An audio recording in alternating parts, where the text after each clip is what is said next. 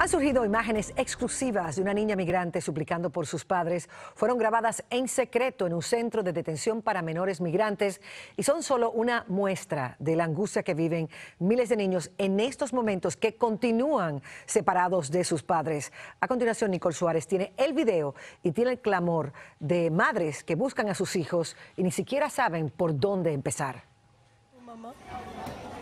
Este video obtenido por MSNBC lo grabó en secreto una ex trabajadora del centro Cayuga en Nueva York la semana pasada antes de renunciar a su trabajo. Ella está en contra de la política cero tolerancia del presidente Trump. ¿Por qué lloras?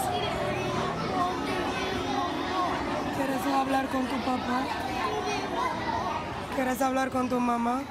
También se dan a conocer las primeras imágenes de una ciudad de carpas que alberga a los niños migrantes cerca del Paso, Texas. Se le permitió el ingreso a algunos periodistas, pero sin cámaras.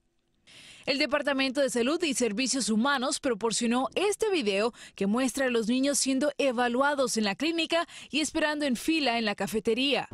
Estamos buscando con afán a los padres y si están pasando dificultad, los vamos a encontrar. Mi hijo gritaba, lloraba muchísimo me dio mucha tristeza escuchar que cómo lloraba. Este inmigrante de Guatemala dice que las autoridades se llevaron a su hijito de cinco años mientras dormía. Cuando por fin logró comunicarse con la trabajadora social, ella le dijo que el pequeño no quería hablar con ella.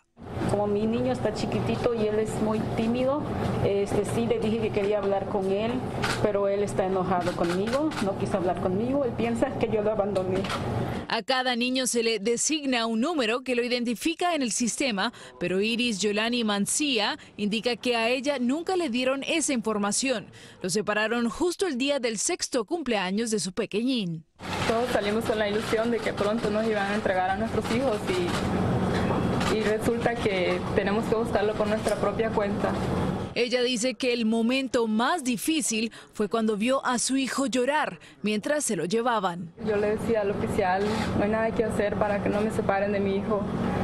No me dijo, usted va a ser separada por las buenas o por las malas de su hijo. Todo parece indicar que el hijo de Iris está en Arizona, pero ella aún no ha podido hablar con él. Además, debemos mencionar que la trabajadora del centro de Nueva York que grabó ese triste, triste video de la niñita no puede confirmar si ella fue separada de sus padres por la política cero tolerancia. Mari, también, también hay que aclarar que los niños en este centro de Nueva York van de día y mientras tanto viven con padres de crianza. Bueno, la verdad que esto es una cosa insólita. No importa en qué circunstancias suceda, no se pueden separar los niños de sus padres. No importa lo que la gente piense sobre sobre la situación migratoria, si están a favor o en contra, si quieren medidas más fuertes o no. Todo eso se puede manejar, pero la separación de niños de sus padres, eso es inaceptable. Gracias, Nicole. En noviembre se echará la casa por la ventana en un hermoso rancho de Corpus Christi y por supuesto que será una boda muy mexicana. ¿Cómo la ven?